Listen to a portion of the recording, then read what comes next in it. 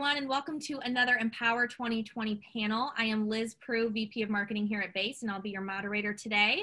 I am so excited for today's session.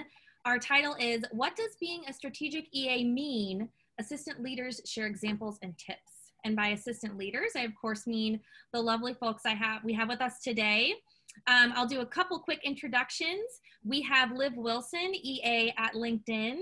Hi, Liv. How are you? Hi, I'm great. So excited to be here. Awesome. Thank you for being here. And uh, for all of you watching, Liv is a high performing, innovative, collaborative, and forward thinking C suite EA with extensive experience providing high level administration, strategic, and business support to senior executives. Very, very excited to have you here. Our second panelist is Rhiannon Ward. Hi, Rhiannon. Hi, nice to be here. Nice to have you here. So um, we uh, I, I, I was reading your formal name. I've been calling you Ree this whole time. I'm I use your your professional. Ree's great. Ree's great. Ree's perfect. Ree's great. Okay. Well, everyone, Ree has spent the last 12 plus years working as a senior EA alongside leaders at Atlassian, Westfield, ING, and Canva. She is now a mindset and success coach to top leaders and mentors to EAs. So thank you so much for being here. Pleasure. And our um, final panelist is Debbie Gross. Hi, Debbie. Hey, everybody. Great to see all of you. Remote. Great to have you. Um, everyone, Debbie is an advocate, teacher, speaker, and author with over 30 years of experience in the administrative profession. And um, I am just thrilled to have you guys here to chat. We are in three different time zones right now, which is exciting. So I appreciate everyone's flexibility, and our audience is really excited to hear all of the tips that you have for them today. Uh, to get started, I thought we could define what being a strategic assistant actually means. Because as the assistant role evolves, I feel like that definition continues to mm-hmm. evolve. So I'd mm-hmm. love to hear from each of you what being a strategic EA means to you. Um, Liv, let's go ahead and start with you. Okay, great. Um, so I want to start by saying that I, um, early on in my career, I used to be a bit scared of the word strategic. I would hear it and I would kind of think, oh, I, I don't think I am strategic. Does that mean that I need to know how to run a whole business? Um, but then, you know, I kind of realized that being strategic essentially comes down to finding out what it is that your executive wants or needs and figuring out ways to help them get there.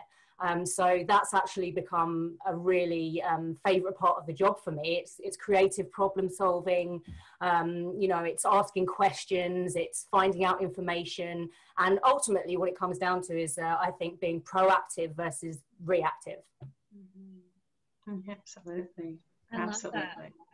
Debbie, do you want to go next and kind of walk through what it be? Yeah, um, for me, being strategic, along with what Liv has said, is I think it's thinking differently about the role uh, of an executive assistant or administrative assistant. And it's going beyond, to me, the day to day check the box, I got it done task mentality. Uh, it's really about uh, getting and gaining a greater understanding of the business, both the company, uh, the organization and the executives that you support, as Liv mentioned, asking questions, uh, as well as really understanding uh, how you can add greater value in, in, your role. I mean, we're getting past the doing the expense reports and travel itineraries right now. So it is about changing uh, and a shift in the way that we think. It's a mind shift. And that's the way I look at being strategic. Wonderful. Ree, I'll hand it to you. Yeah, I love it. I, I, absolutely agree with everything Debbie and Liv have said. It's so spot on. And I think for me, um, being strategic, it changes how we be strategic working alongside our execs changes, right? The things that we do to be strategic change. But the way that I sense check whether or not I'm operating in a strategic capacity is to go, where is my head at? Am I thinking about the now or am I thinking about the three, six, 12 months, two years into the future? Um, that's a really great indicator of whether or not you're being strategic. And also, are you thinking about what's aligned with the business objectives? As, as these other two ladies have mentioned, what's aligned with the business's mission and what our execs are trying to achieve? And if you're not doing that, you're probably not being strategic. Mm-hmm. That, that's wonderful. And that leads us, that it's perfect leading us into our next topic. And I might just let you elaborate on that um, because I feel like you're just about to go into more detail of how um, how can assistants start doing these things if they know I want to be more aligned to my executive, I want to be more strategic? Is there anything that they can start to do in their daily workflow or it, unique ways they can start engaging with their executive to open up those opportunities? Um, I will go in and jump in on that one. And uh, one of the things that I learned early on in my career in terms of what I call strategic thinking is starting to do more of what I call analysis of how my executive was spending their time, um, doing the research, you know, looking at workloads, time allocations. Um, I took it beyond, you know, just managing that calendar every day, and I would literally capture a lot of data. And then um, I would sit down with my executive because I believe executives make their decisions based on data, not on just assumption. And I remember very early in in doing this that I sat down with my boss at that time, John, and I said, John, in a quarter, and I would do it by quarter. In a quarter, you have spent 60% of your time on business operations. You've spent 30% on um, sales and 10% in uh, and with the employees. And I remember him just looking at me with this big, he couldn't believe it, uh, look on his face, and he said, "That can't be right." And I said, "Well, it is right." Because let's face it, executives are going 90 miles an hour. They're not looking at their calendar. They're just going from meeting to meeting to meeting. And so he turned to me and he said, I don't want that. That's not what I want. I want to spend more time with the customers, less time in business operations, and more time with employees. Well, that immediately allowed him to make some decisions and allowed me to actually start to align the priorities and how I was going to continue to manage the calendar. So that's one, just one simple way that I started to take the role much broader than just the day to day. And it, it worked wonderfully well. Uh, yeah, I couldn't agree more with what Debbie said. Um, and um, to kind of expand on a couple of things that have already been uh, mentioned, um, read everything the company newsletters, you know the strategic the business reports everything even even if you don't understand what you're reading it's so important to really know what the company objectives are.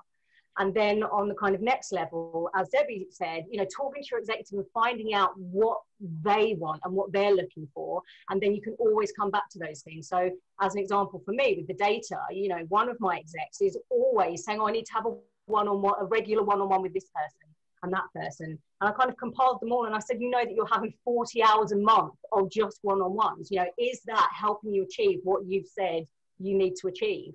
You know, so yeah, that data piece is, is really strong because executives, you know, um, in the moment will say, oh yeah, you know, they like the idea of having a regular one-on-one with this person. But um, but yeah, when you give them the data in black and white, kind of saying, if you're spending this much time doing this, then you're not able to spend the time doing the things that we've agreed you you want to achieve. So yeah, I mm-hmm. think I think that's great. Um, you know, read everything. Um, and um, I think the other the other part of it as well is um, you know just being really clear and checking in, as Debbie said. You know, every kind of quarter, are these still your um, your priorities and objectives?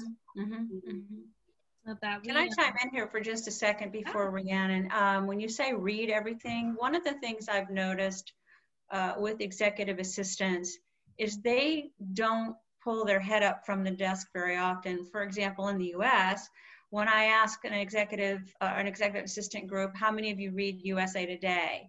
Not a hand goes up. How many of you read Wall Street Journal? Not a hand goes up.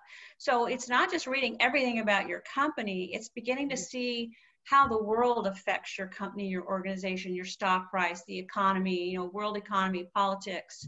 Um, it's just amazing what there is out there. And for us to really be strategic, I think we need to lift our head up a little bit further and start to look at the big picture uh, because that will ultimately, I think, affect the the ultimate business in some shape way or form so i agree with you reading everything you can but go bigger Mm-hmm. That's great advice. Yeah, great point. Yeah. Ree, I'll tell yeah. Totally agree with everything both of these ladies have said. Um, taking a really holistic approach, intimately knowing, intimately knowing the business goals, your exec's goals, like I mentioned before, and go as so far as to, yes, read the news. I, every time I start with a new executive, I like to find out what's helped shape the way they think What have they read that's been really instrumental in their growth? What have they listened to? Who have they been mentored by?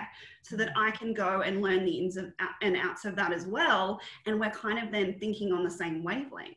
I also go and speak to uh, the entire leadership that's uh, leadership team that surrounds my executive to find out what's going on from their perspective because our CEO, our exec often only sees part of it, right? And a one way in which we can be strategic is to bring them that information and bubble things up to the surface that they otherwise wouldn't be aware of. So um, that's all I'd add to that. But yeah, so many ways strategic. Great. Yeah, yeah um, me too. And I think, you know, relationships are such a huge part of this role mm-hmm. and, and having good relationships with, with people outside of just your executive and even their executive mm-hmm. team, having good relationships across the business enabled you to feed that information to your executive and be more strategic about you know you, the kind of um, culture and and uh, mm-hmm. you know have a pulse on what's going on beyond um, what your executive mm-hmm. can see. So I think yeah, relationships is, is really crucial part to being. Well, you represent your executive and your their brand in number one. Number two, in my case, I was uh, John's friend liaison, meaning that he was traveling so often, not in the office. So I made it a point to know not only the people within the company, but who were important to him outside of the company, friends, business customers and sometimes when John wasn't even in the office, when they would call, they would talk to me and they would share with me, well, here's what's going on with me and how are you? And the next thing you know, now again, you have this information so that when John would call in, I said, oh, by the way, Jack called and you know, he just, he just moved to, uh, and I would give him an update and he would be so appreciative because he didn't have that time to keep those relationships alive and well. So we, strategically meaning we mm-hmm. are liaisons for them, both internally and externally, their friends, the organization, everything. So, absolutely, getting to know, building mm-hmm. relationships are very important, I think, in terms of that whole strategic uh, position that we play. Mm. I love that. I think mm. um, it's funny. oh, go ahead. Sorry, Liz. I was going to say back when we were when we were in the physical office, which um, you know, LinkedIn in Australia at the moment anyway, we're we're all working remotely. But back when we were in a physical office, I would, you know, often go for a walk and you know and just check in and chat to people not necessarily about business but about what's going on in their lives. Now i think some people might have looked at that and think oh look at liv just wandering around just having a good old chat with everyone isn't it? You know isn't that great? But that is part of being strategic as well. And now that we've moved to virtual I still make it a point to send a little Teams to someone, not because I need anything from them, but to say, oh, how was your son's first birthday? I know that he turned one last week. What did you get up to? And, you know, just building those relationships, you know, outside of the specific direct work environment, you know, mm-hmm. those are things that enable you to have the insights that you mm-hmm. need to be able to let your boss and your executive know what's happening mm-hmm. with with individuals and the business. So sorry, I, I jumped in there, Liz. No, good. It, it, I mean, you actually went on to what I was going to ask you to elaborate on. You said something earlier too about aligning to company objectives and knowing what's going on with the company. And with everyone working remotely and that looking like a more permanent situation, um, the idea of the future of work and how what this looks like moving forward, I think uh, the topic of aligning yourself to a company's OKRs, which essentially is are those leaders and executives um, objectives and key results as well, it's just it's so important to align yourself to what's going on. And then on top of that having those relationships to see how you know personally what's going on in their lives but how they're working within the business and working towards those goals as well. I mean that mm-hmm. information is just invaluable. Mm-hmm. yeah absolutely. Absolutely. Um, and i i have to say that the more we're connected uh, here's the other thing I, I think goes in line with being strategic and everything that you're saying. Look for ways that you can actually add more value. For example, uh, if you're starting to see a problem, for example, one of the clients I have she noticed that everybody was just reaching out to her and her team constantly using Slack and instant, you know, uh, texting and phone calls and emails. And she said, enough is enough. We have a problem. So what she ended up doing is developing what she called a communication protocol. And that communication protocol became very valuable for her whole organization. That in itself, in my opinion, is a strategic way of adding value solving problems, being innovative, and she was even her own CEO was impressed with how things started to smooth out. So we need to look beyond, like I said, the cube or the laptop, and how do we add more value? How can we do and change and, and keep things uh, and move things in the right direction?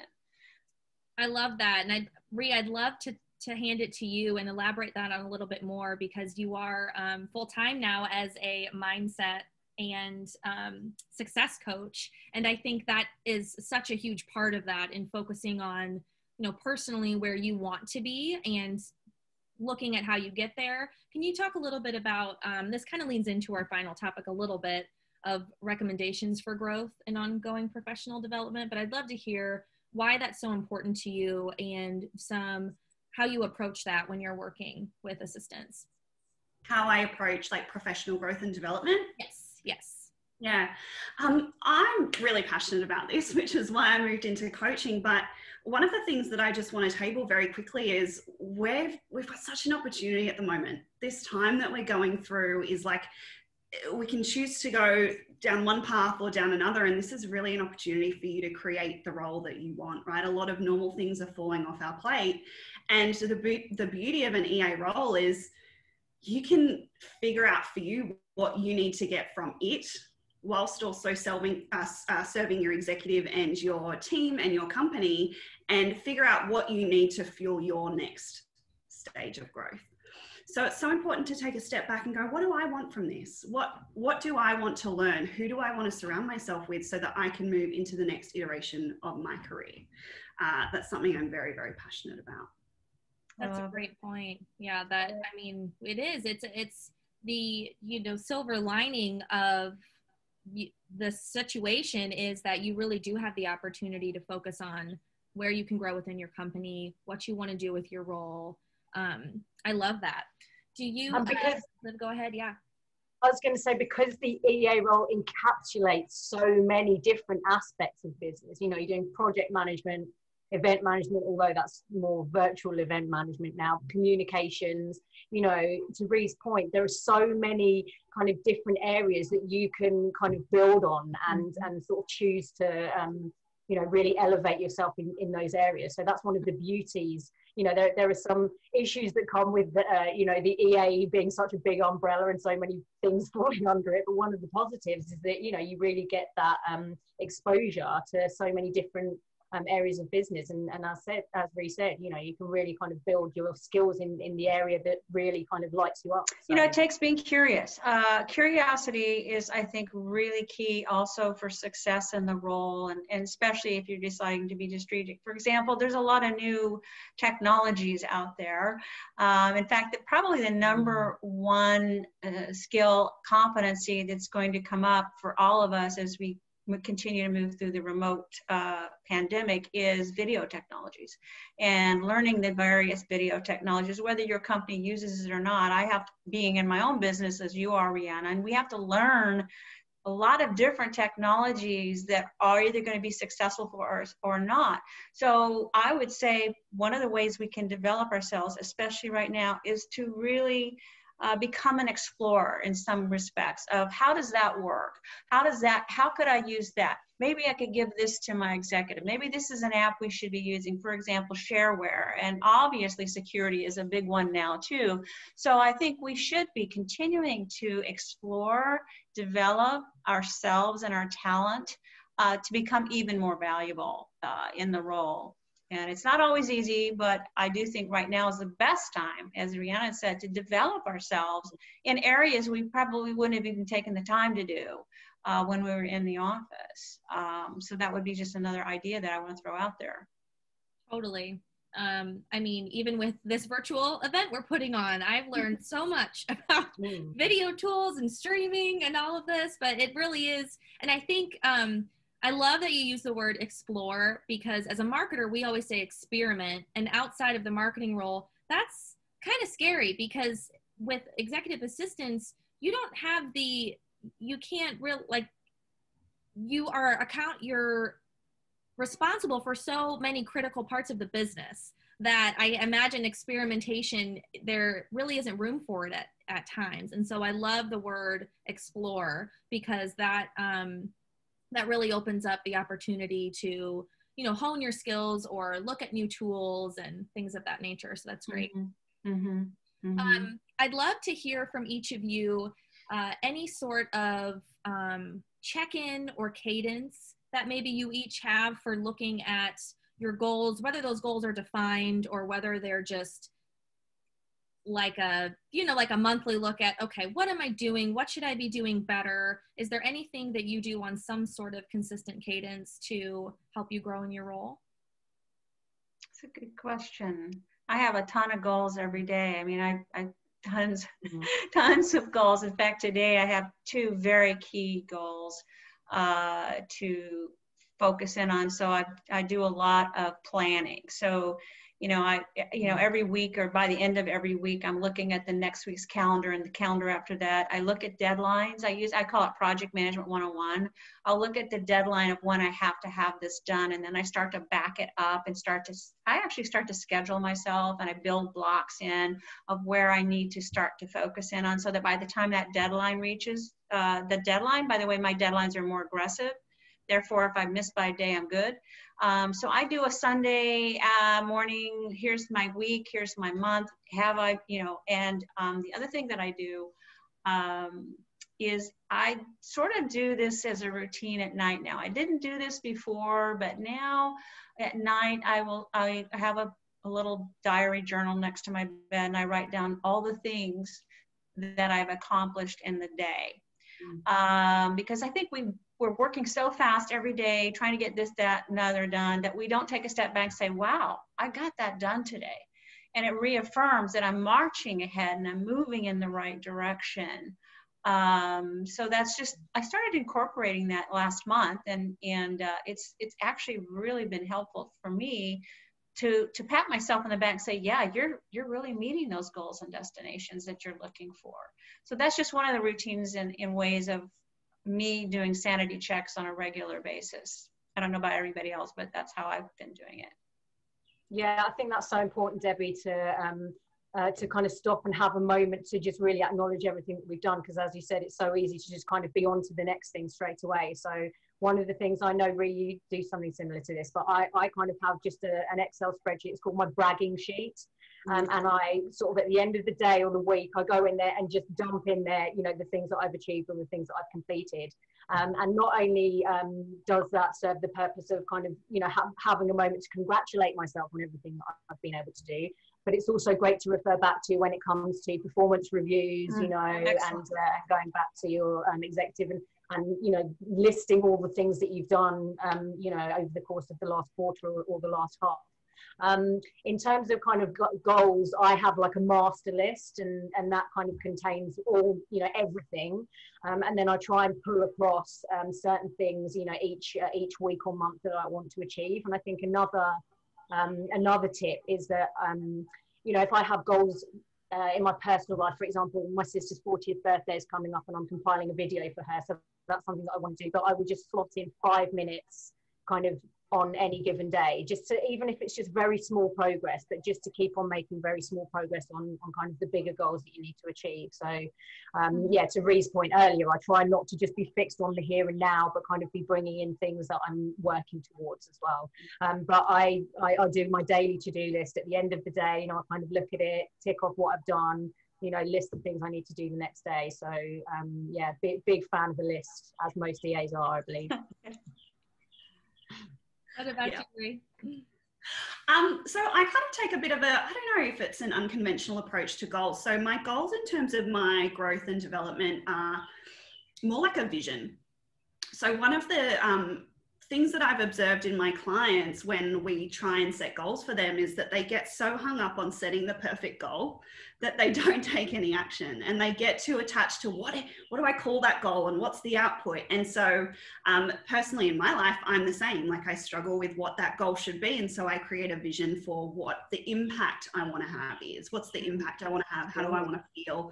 What do I want to have achieved personally? And that's not necessarily associated with like doing a thing or achieving X. Mm-hmm. So it's a little bit different. Um, and I set my vision yearly, but it changes as well. Like it changes all the time. It morphs, it evolves just like I do as I grow and develop as a person.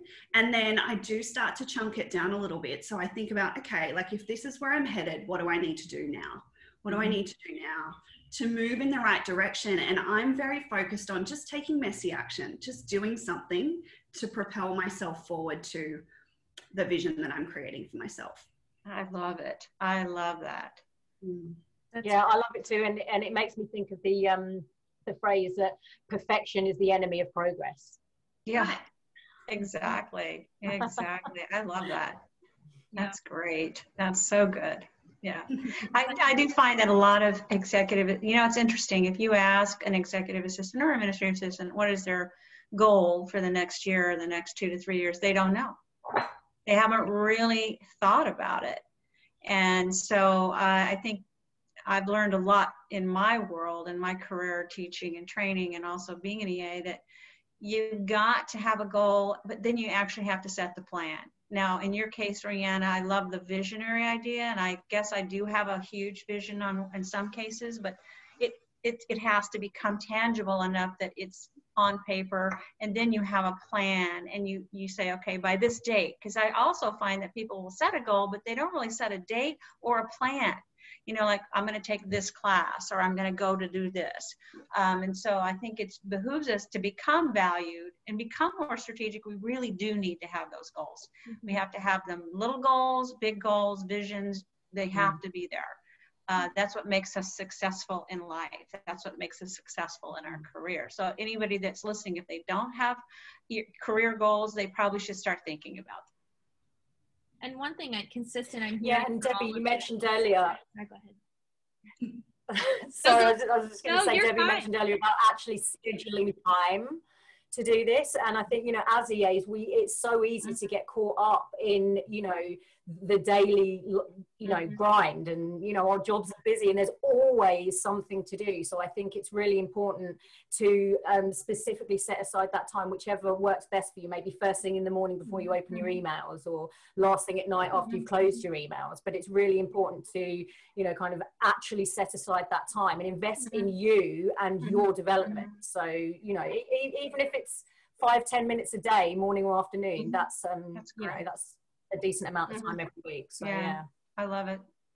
That's so true. I think. Sorry, Liz. I keep on. I keep no, on talking. it's people are here to listen to you. They don't care about me. They're like, there's the marketer acting like she knows what she's talking about again. No, I'm. I, I love it because um, it's so great about all these sessions we're having is that uh, everyone can learn something from this. Whether you're an administrative professional, you know, if you're in any professional role, this is all great advice. And as it you know pertains to um, assistants what i'm hearing consistently from all of you is that we all need to reward ourselves more and allow ourselves to be rewarded and that doesn't just mean you know having um, you know a notebook or a sheet which i think everyone should have and i'm totally going to do and steal from you guys but it's allowing rewarding yourself with those 15 minutes like you're mm-hmm. allowed those 15 minutes to center mm-hmm. yourself I um, like I even made a rule in one of another webinar we did uh, a few months back.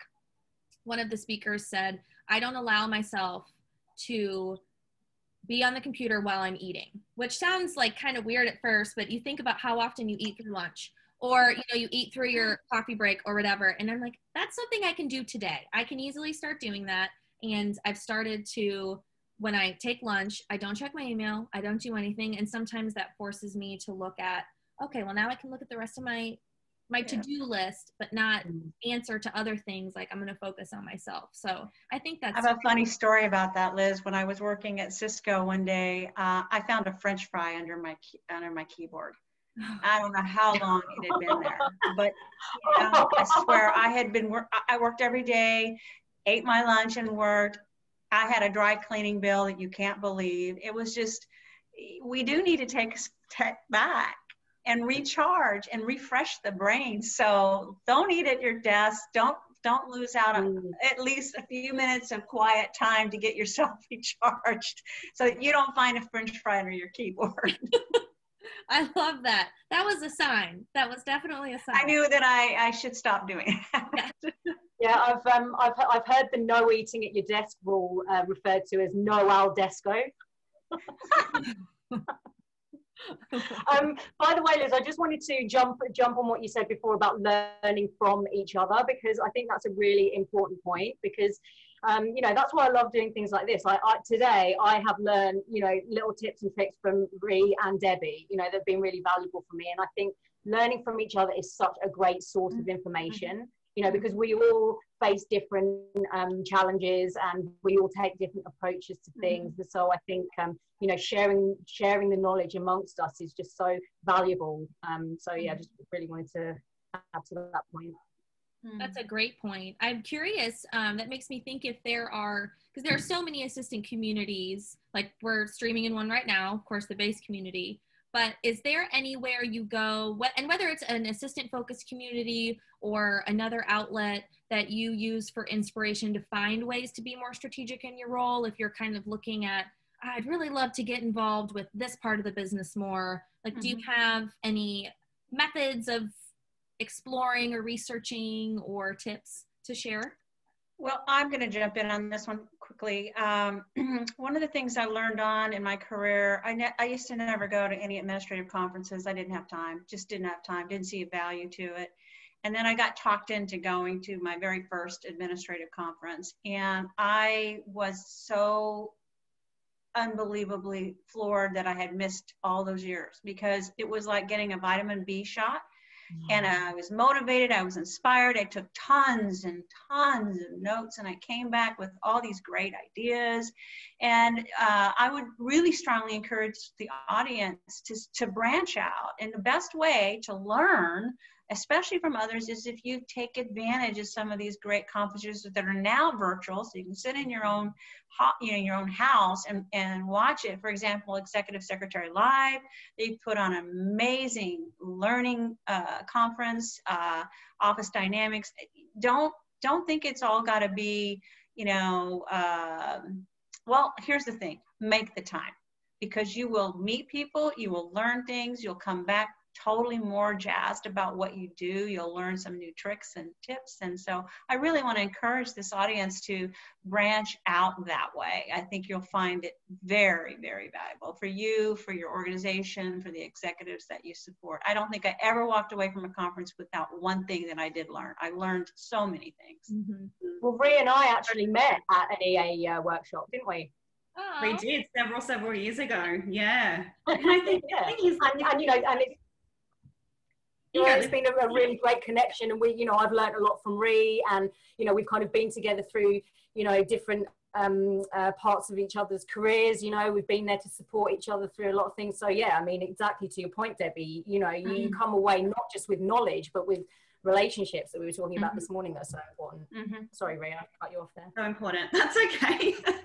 I think, yeah, absolutely. Exactly what Debbie and Liv have said. And I take a very holistic approach to um, the way that I want to grow and develop. And not only am I connecting with our other assistants through events, and by the way, some events are better than others, but if you're going to an event and you're not taking something away, it means you weren't looking for it, right? Because there's always things to learn in every forum, every day. There's something to learn from everyone, and um, I I expand it beyond the EA community as well. Like I want to learn from other people in business because I am moving into that you know strategic position. I want to learn beyond what currently exists. I want to network with other women and men in business and learn from people that I really admire. Um, build that personal advisory board. Like Liv is on my personal advisory board. I have a great crew of people that I bounce things off all the time. I've worked with mentors and coaches along the way, Deb being one of them. And I think there's just, you can't learn too much, you can't invest too much. And what I mean by investing, it's not just money, it's time, energy, it's focus, all those mm-hmm. things. Mm-hmm. So I think um, it's literally the best thing you could invest in yourself, literally, mm-hmm. and mm-hmm. the ROI is infinite. I want to be on your personal advisory board. I'm I'm bummed that you haven't invited me yet. I'll send you a full invitation. oh, I love that so much. That is such great advice. Uh, have a personal advisory board and invest in yourself. I think that's great. Mm-hmm. Um, and for those watching now, uh, I know we've said this in a couple other panels, but these are opportunities where you can just like just drop your linkedin profile and see if someone mm-hmm. wants to connect or drop your email like this is this is why we're all here mm-hmm. um, and yeah, take advantage of these opportunities. That's great. Yeah, I created a private Facebook group called uh, the EA's Guide to Going. No, actually, it's called the EA Rockstar Virtual Edition. So there are lots of different um, groups, uh, for example, in Facebook that you can join, and, and that's way another way you can share information with each other. Um, so yeah, there's a lot of avenues to to do that. Lots yeah. of avenues to do that. Yeah, and similarly, do like what it's got to feel right to you. It's got to feel like a good fit for you. Mm-hmm, mm-hmm, exactly. Yeah, and there are loads of great um, EA groups on, on LinkedIn as well. Mm-hmm. And I mm-hmm. think really kind of tailoring your feed on LinkedIn as well, right. um, so that you're seeing things that are relevant and interesting to you. Um, mm-hmm. You know, because as you as you're just sort of scrolling through, you you easily pick up kind of little bits here and there that you know you kind of think oh yeah that looks good i'll try that and mm-hmm. um, so i think yeah making your um, uh, tailoring your feed so that you're seeing really valuable stuff is another great tip mm-hmm. Mm-hmm.